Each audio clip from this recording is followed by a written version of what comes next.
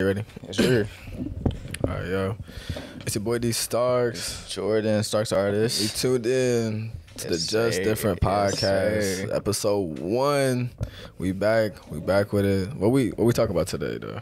talking about the mind games. Mind, ga- mind games. Mind games. Look, cause listen, what what you think on your life is ultimately gonna move into. Period. Mm. Very simple. You know what they say. What? You are what you think. Who said that? I just came up with it. Nah, bro. This it's it's in the Bible though. Actually, the Proverbs Uh, somewhere in there. As a man thinketh, oh, so is he. So is he. Ooh, so re- yeah, okay. So I didn't really so make it up. I didn't really make it up. it's important though, cause like we don't. I don't think we think about that too often in terms of like our mind. Yeah. Like it matters what you listen to. It matters what you're looking at. All that. I like. I think someone said it like this. Basically, like your diet doesn't just consist of what you physically eat. Ooh. It's about what you're seeing, listening, Yeah. and allowing yourself Yeah. to hear. Because that's going to ultimately manifest in your life. Exactly. That's good. Yeah. Because what I think our youth pastor said one time, he did a message on this. It was like, Yeah. what you magnify in your mind, it's going to manifest in your life. I think I remember that. You remember that? Yeah, Because that's good. your life is always going to move in the direction of your strongest thought. Dang, you just dropping down right now, down after down. I ain't gonna lie, all those are captions, bro. Nah, for real, though, always, you always move in the direction of your strongest thought. Mm. So the question is, what, what are you, what are you thinking about? What are you thinking about? On, what's on your mind? What you what you watching? What you eating? What's on your mind? What you eating? what you? Oh yeah, what you eating? Ooh, Oh, that's fire. I like that. Cause we just we just went over this. Not it's not just physical. What you what you eating? Feeding your spirit, eating. feeding your mind, Spiritual your food. Spiritual food. Mm. That's important too. Yeah. We don't think about that enough. Mm. I don't actually think about that enough for real. Cause we talk we talking about that. Like even music you listen to, like the, the more you play that in your mind, that's even though even if you're not consciously thinking about it, it's still playing. It's still going. Yeah. That's something I didn't even realize till I really started um, growing in my relationship with God. It's like, dang, stuff you watch and see it really affects you. Oh, 100 Because percent. you don't think it does, but it's, it's all subconscious. all subconscious. So it's always gonna come up. It's gonna come up and like show itself. Yeah, but and it's it's with the repetition. That's rep- repetition is dangerous. The repetition piece, yeah. Ooh, the I, I heard this and it was like your mind cannot resist the temptation to believe what is regularly repeated. Ooh, mm. I was like, man, that stuck with me. Cause he was talking about like, I guess positive affirmation. No, he's talking about like parents Okay. and as kids, like how so important to be very vigilant about like what your kids are watching or against Yeah. just because they can't really decipher information. So Mm-hmm. what they're being repeated, their brain is going to believe. Ooh. It doesn't matter what it is. It has to. It Mm. can't resist the temptation. It doesn't have the ability to. That's crazy. That's good. And speaking of kids, I feel like your mind, you have a, we have a lot of like um, what's what I'm looking for? Like like hidden trauma and things that we're dealing with deep like in our minds that we don't realize that we're really dealing with until we like take a minute to study ourselves. Right. That goes into like mind games. Exactly. That's why I brought it up. That's what this episode's about. what you what you mean? No, I'm just saying, like, in terms of like, yeah, but like how your mind be playing games on you. Yeah, I was just saying because I feel like it's important because what's the statistic? In the first like five years of your life, that's where you're most vulnerable. You're soaking up everything like a sponge. So s- everything you see, everything you hear, and those things are affecting you till this day, whether you realize it or not. So that's why it's important for you to go back, study yourself, study your reactions, study how you react to certain things, how you see certain things, why you think certain ways. You know what I mean? It's, it's a lot deeper than your perspective, perspective is everything. exactly. Yeah. God cares about that. Because you have to have proper, proper perspective of Him Ooh, that's good. to really like live out what He wants you, Exactly. wants you to have in life. Yeah. So He want, ooh, He wants your soul. We're we're Keep we're talking, a three part talking. being. I was just listening to this. Yeah. We're mind, well, we're body, Yeah. we're spirit, and we're mind. Talk to him. Or rather, your soul. Talk to him. Same difference, right? And so, your body is obviously like what you're physically in, Yeah. and then your spirit is what's intangible with what like God's giving you. Yeah. right? And your soul sits in the middle and chooses every day. You wake up every day making a decision. I'm gonna follow the flesh. Yep. I'm gonna follow the spirit. It's a constant fight, constant, tug of war. Yep. So you gotta like you gotta feed your spirit and starve your flesh. That's why- saying that. That's why the Bible says, "He who wins souls is wise." You have to work out your soul's salvation. Work out your souls, bro. Say Well, that. why? Why isn't he who wins spirits is wise? Because it's about the soul. What your soul. It's about the what soul. you're thinking in your mind. Because Yeah. you can be, like, especially, oh, because even for me personally, I can say whenever I got saved, I came to God and I, I gave my life to Him at the altar, but I still left with the, with the same habits. Mm. I still left with a lot of the same mindsets. You I still had. left with the same. So my spirit was saved, but I had to go back home and I had to work on my mind right. on my perspective on like understanding who God was, who He called me to be, and like just changing all that because that's really where the work happens. exactly. It's all about the mind, bro. Yeah, that's Yeah. crazy to me. I, like that's how it happens. So, Bro. and then were you, you gonna say something about repetition earlier, or did I did I miss that? Oh, did you know? I thought you like like piggybacked off it. I don't I don't remember what you said to be honest, but yeah, I was just saying repetition is dangerous. It's Thanks. a it's a weapon that could either use in a good way or a bad way. It could be very powerful either way. It's like what's um how did I hear one song? The more you make a choice, the harder it is to choose otherwise. Repetition is dangerous, and that's when it's become subconscious. That's facts. The harder you make a choice, the harder it is to choose otherwise.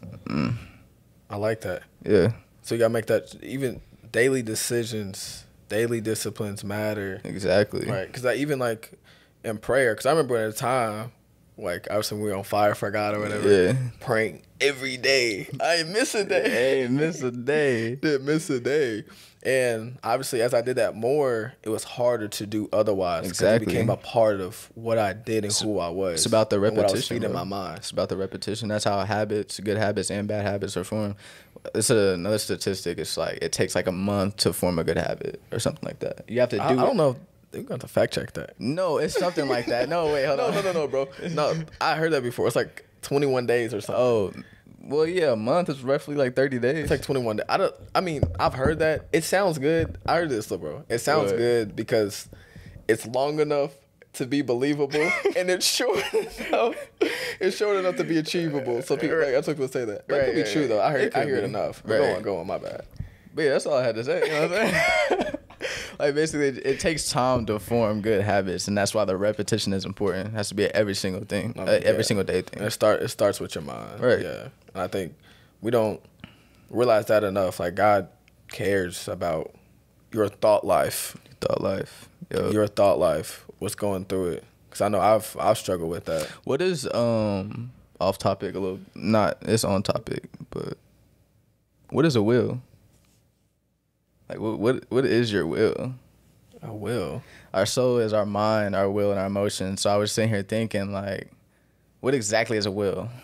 Our soul is a mind. I guess it's our like mm, our decisions, like our ability to do what we want Right, in a way. Like we have you have free will, right, right, so no one's controlling our decisions. right. You can do it. Okay. Like oh, the way I think about it is, oh, even just bringing me to the topic of like you got to protect your mind, right? Right. Because we've been talking about that the whole time, but Yeah. really being diligent about what you're allowing to come around you. Ooh, right? The people you're allowed to speak in your Yeah. life, and even the things you're allowed to get to you, and like on a day to day basis, Mm. right? The things that disrupt your peace. If Mm. it costs your peace, it's not worth it. At all. Got to keep your peace in mind. It's that simple. Yeah. Because I made like, I made a video a while ago, and it was like I was saying that you're ultimately in control of what you allow to affect you. So it's never they made me mad. I allowed them to make me upset. Mm. So so It's it's, a hard concept that I had to learn. so it's I'm still happiness. learning. So is happiness a choice? Let me ask you that. Whoa, bro. Whoa. Um, man. Yeah. In some ways, like of course, you have those exceptions of like people who are like you know mentally ill, like depressed, like you have a chemical imbalance in your Yeah. brain, all that good stuff. But like you know, outside of those things, most most definitely it has Yeah. to be. the way the way I see it is like you said, for the most part, let me put it like this: your emotions are just how your thoughts feel. So nine times out of ten, Well, you hold can't. up, hold up, rewind, bro, because that that went over my head. I don't know what you talking Like- about. I don't know what you talking about. You didn't look. I was going to explain. okay, go ahead, go ahead. Say it again and explain. Okay, so I would put it like this: emotions are just how your thoughts feel. Meaning, I can't be f- right now presently feeling a feeling unless I first thought something that provoked that feeling. Nine times out of ten, nine times out of ten, I can't be feeling an emotion unless something happened or a thought came to my head that made me feel that. Which means it's all in your head. If you control your thoughts, if you control your mind, you control your emotions. Control your mind. Control I your think life. I think some people think like I don't know emotions. I don't know how to explain it. Like You some people think they can't be controlled. Some people think it just happens. Like and they can't. It's they- out of their control. They do happen, but you have the ability, like, you can get upset about something. If my mom gets on my nerves, like Right. yells at me, which happens, you know what I mean? She be tripping. yeah, for sure.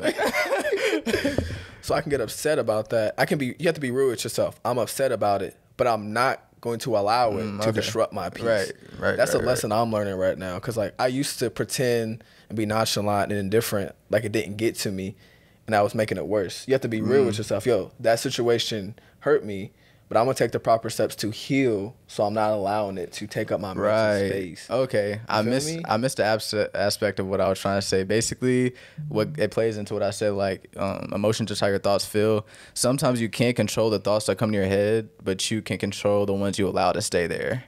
So be real. Like I'm thinking this thought right now. Like this is very much real, but I get to control if it stays there. Facts. I get I get to control if I meditate on that thought. How strong it is. Exactly. Yeah. That's a good point. It's pretty fire.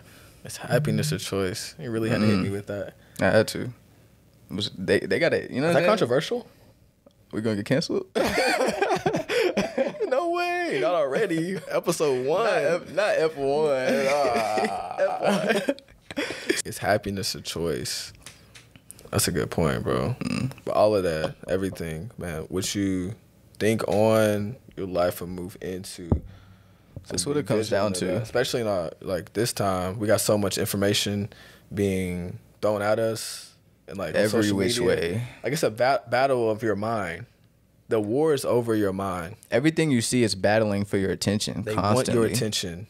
Period. Mm. Social media, uh, advertisements, meet like brands, institutions. Everything. They all want your mind. It's So you fighting have for to your mind. protect it at all costs.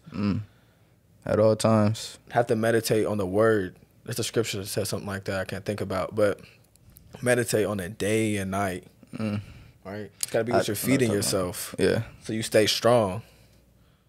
Then that's how like ultimately you got to be spirit controlled. Basically, what that means is your mind and your thoughts are subject to God's word. Ooh, spirit control, Spirit control. not not mind control, Spirit control. not on cruise control. spirit control. Spirit y'all. control. Let me tell you, it's not. It's not easy either. Oh, a lot of things are easier said than done. Oh, hundred facts. percent. But it's it's what we need to do. exactly. It's gonna be worth. It's worth You it. gotta take the man. necessary steps. Always. I heard it from Without TD doubt. Jakes. She said you can stare at the next level all you want, but if you don't take the steps to get there, you're not gonna make it. I can do. I can stay. Say I'm in a building, right? I can. I can stare at the second level all I want. I can do all the praying and hoping. Take me to the second level. Take me to the second level, please, please, please. But if I don't walk up them steps and take the necessary actions I need to to get there, then you know, it's not gonna happen. So So stand there. Well, look, nah, we end off that. That's Yeah. heat. Yo, take the next steps. take the next step. Take the mm. next steps to controlling your mind, mm. submitting to God's will, Yeah. and His purpose, and being spirit controlled. Spirit controlled. Well, what you think on your life will move into, man?